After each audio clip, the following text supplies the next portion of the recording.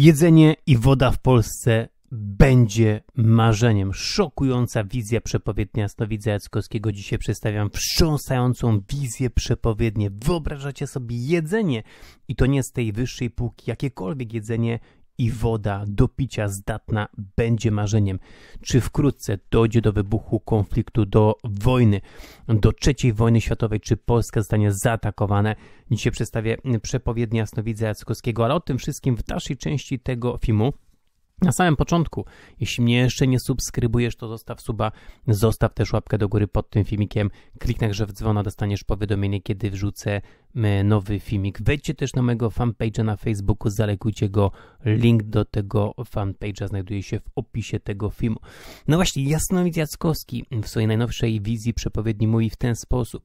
E, jeśli chodzi o jedzenie i wodę, to będzie ona marzeniem w niektórych momentach, będzie ona marzeniem.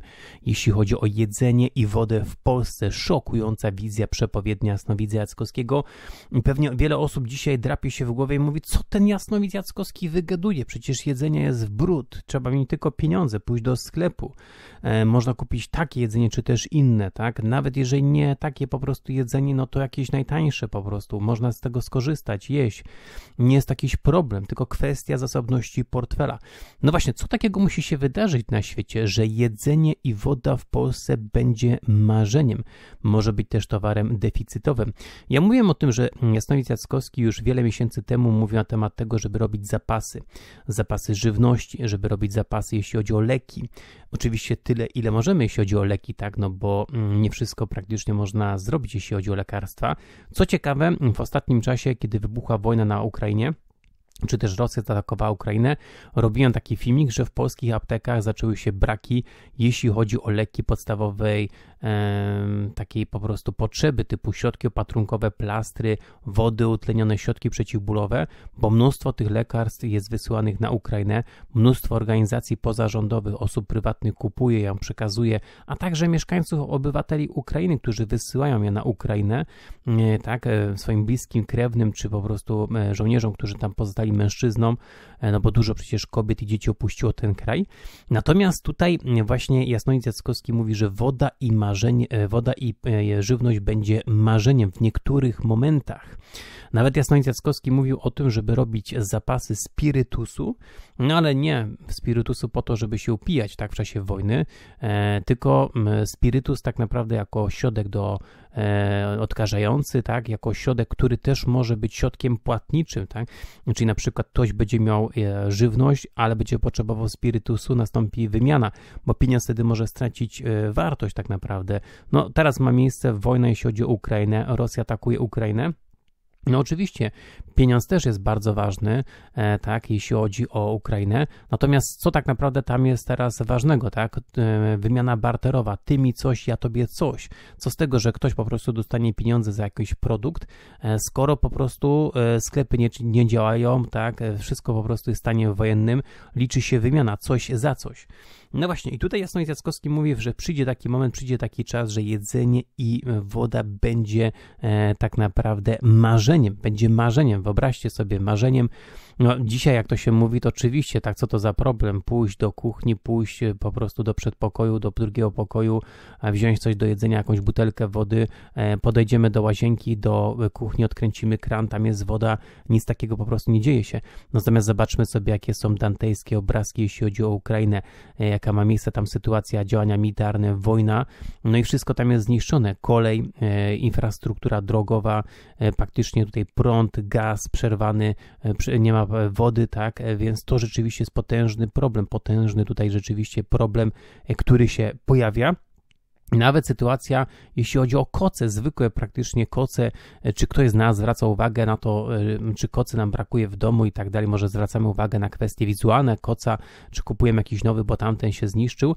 Natomiast nawet tych koców, e, czy kocy brakuje, jeśli chodzi o Ukrainę, ludzie wysyłają masowo te koce, bo one mogą po prostu tym ludziom tam pomóc, tak? Pamiętajmy, że wciąż jest zimno, kiedy to nagrywam, początek marca, wciąż jest zimno, jeśli chodzi o Ukrainę. No więc pytanie jest też takie, czy w Polsce dojdzie do działań militarnych, że jedzenie i woda będzie marzeniem? Czy Polska będzie tak naprawdę miejscem, gdzie na przykład no, stacjonują wojska obce, są bazy wojskowe, e, te bazy będą zniszczone i przez to mogą być problemy, jeśli chodzi o infrastrukturę, tak, problemy praktycznie jeśli chodzi o jedzenie, jeśli chodzi o wodę. Tak samo może być problem, jeśli chodzi o produkty w sklepach, tak? Nawet nie musi Polska brać czynny udział w działaniach militarnych, natomiast wystarczy, że na przykład e, byłby tu konflikt pomiędzy NATO a Rosją, Rosja by niszczyła bazy wojskowe znajdujące się na terenie Polski, no to już na przykład mogłoby spowodować, że wiele firm zagranicznych wycofywałoby się z polskiego rynku w obawie właśnie przed utratą zysków i tak dalej, tak? Więc rzeczywiście nieprawdopodobna sytuacja, niepewne czasy, to co nas czeka, to co może się wydarzyć, tylko z drugiej strony, no ile można zrobić tych zapasów, jeśli chodzi o jedzenie, jeśli chodzi o wodę, tak?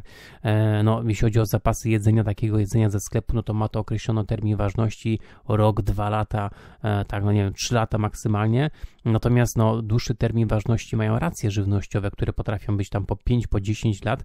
E, tak, swoją drogą też pokazywano praktycznie w mediach, jak żołnierze rosyjscy, czy Ukraińcy tutaj tak przejęli na przykład jakąś, jakiś czołg, czy po prostu jakąś tutaj kompanię rosyjską i okazało się, że oni mieli racje żywnościowe z 2015 roku, czy ważne do 2015 roku, no bo te racje mogą być przez wiele lat ważne, wa, ważne tak, jeśli chodzi o termin ważności, no to też jest właśnie no, kwestia, tak, ci żołnierze, którzy jadą na front i dostają przeterminowane racje żywnościowe ważne do 2015 roku, a nie z 2015 roku.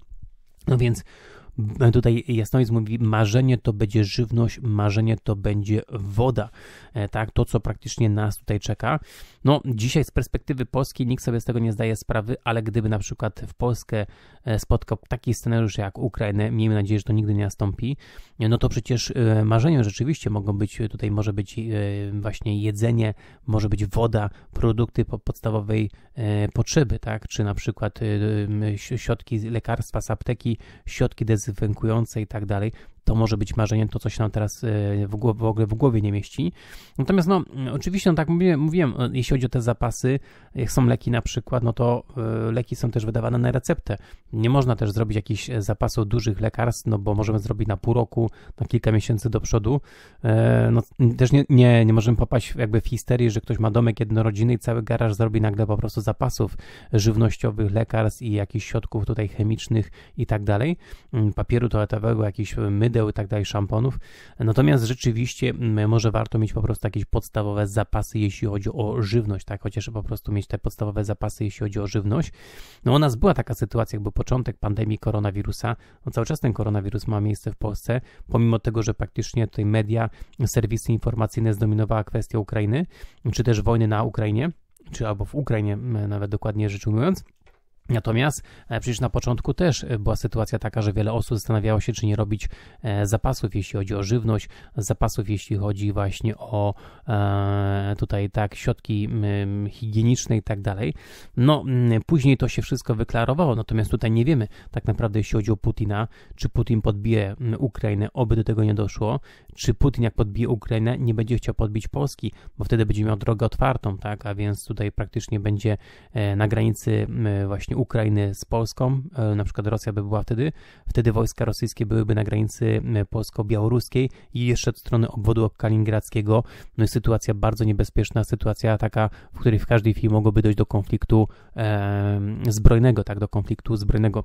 Znaczy, ja powiem w ten sposób, sam to przedstawiam, oczywiście też mi jest to ciężkie do zrozumienia, tak, no bo powiedzieć e, jedzenie i woda marzeniem, to jest rzecz oczywista, którą każdy z nas ma, tylko kwestia, na co masz dzisiaj chęć, na co byś sobie zjadł, tak, czy zjadła, E, ale rzeczywiście, no zobaczmy sobie, gdybyśmy się przenieśli zupełnie inne realia, mamy miejsce wojna, miasto jest kompletnie zniszczone, czy miejscowość, w której mieszkacie, problemy, tak, w sklepach puste półki, bo ludzie wszystko wykupili, no to też rzeczywiście robi się kwestia po prostu przetrwania, walki o życie, tak, e, i e, no wtedy rzeczywiście jest potężny problem, potężny jest problem. Tak samo wartość pieniądza, na jaką wartość wtedy będzie miał pieniądz, tak, liczy się środek płatniczy, coś, co możesz po prostu kupić. Co z tego, że że ktoś po prostu y, może dostawać pieniądze w czasie wojny, potężne pieniądze, jak nie wiadomo, czy po prostu w ogóle z tego kraju wyjedzie, nie wiadomo, gdzie te pieniądze zdeponuje, a na przykład to miejsce może zostać zniszczone albo spalone. Co z tego, że będzie mieć pieniądze, jak nie ma, y, liczy się środek płatniczy, tak, realny, y, który ma jakąś korzyść. Weźmie spirytus, wymieni ten spirytus, na przykład tutaj, nie wiem, litr spirytusu wymieni, wymieni na e, dwie, e, dwie, dwa bochenki chleba tak, czy nam, nam cztery bochenki chleba, chociaż teraz tak ceny idą do góry, że kto wie. Natomiast liczy się realny, praktycznie tutaj jakby realna korzyść. No ja swego czasu były popularne tak, te kanały na YouTubie, jeśli chodzi o prepersów. Też przecież sporo praktycznie takich było kanałów, jak się zabezpieczyć na wypadek wojny, jak się przygotować, jakie zapasy żywności. Wielu ludzi się z tego śmiało, dzisiaj praktycznie ludzie, ja z tego się nigdy nie śmiałem, natomiast dzisiaj ludzie praktycznie zmieniają swoje podejście, bo widzą co się dzieje, jeśli chodzi o COVID, koronawirus na świecie, jeśli chodzi o sytuację naszych sąsiadów, a więc atak Rosji na Ukrainę. Przyzwyczailiśmy się, że wszystko mamy, dostępne jest, jest dobrobyt, tak, w sensie posiadania w sklepie.